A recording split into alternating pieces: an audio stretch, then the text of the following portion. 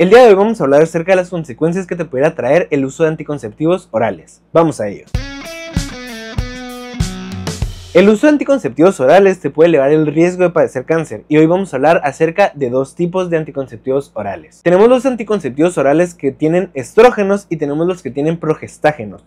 Los que tienen progestágenos lo que van a hacer es que nos van a aumentar el riesgo de padecer cáncer cervicouterino, pero nos van a disminuir el riesgo de padecer cáncer de mama. Por otro lado, los que tienen estrógenos lo que van a hacer es aumentarnos el riesgo de padecer cáncer de mama, pero van a disminuir el riesgo de padecer cáncer cervicouterino. Esto no quiere decir que los anticonceptivos orales sean malos o que no debamos de utilizarlos, al contrario, debemos de utilizarlos con cierta medida. Con lo que me refiero a esto es utilizarlos paulatinamente. Esto quiere decir que quizás los vamos a utilizar todo un año, pero luego los vamos a suspender por un año o quizá más. ¿Por qué? Porque si los utilizamos demasiado seguido aumentamos mucho el riesgo de padecer cáncer. Y por favor no olvides utilizar los métodos de barrera como lo es el condón. ¿Por qué?